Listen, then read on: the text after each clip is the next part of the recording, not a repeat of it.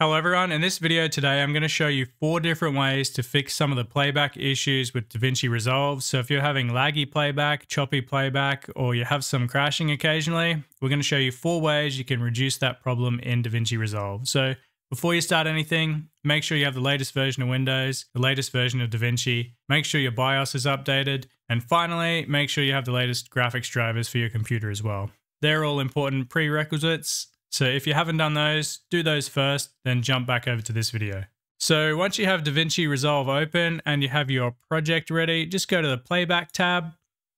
And here we're going to do the first two options. So the first one you have is proxy handling. So make sure you have it set to prefer proxies. So playback, proxy handling, prefer proxies. Once that's set, you'll be able to use proxies and it will help with some of your playback issues. The next one here is the timeline proxy resolution. By default, it's usually set to full, so change this to either half or quarter. Experiment with what's going to work best for you, but in the worst case scenario, quarter is going to be the best option. So moving on to option number three, this is an important one as well. So go to File, go down to Project Settings, and then set your timeline resolution down from 4K or 1080p, whatever you're using, down to something like 720. So this here is another really easy way. Just set it, click save and you're done. You can still export your project in whatever size you want. So this is just for the timeline. And the final one is in Windows settings. So just go over to start menu, go to settings. From the settings menu, go to system, display,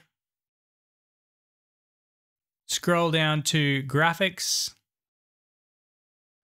And here you'll have a list of apps or programs that you currently have installed and their performance settings. So here we have DaVinci Resolve set to high performance. So just click on it once, expand it to options.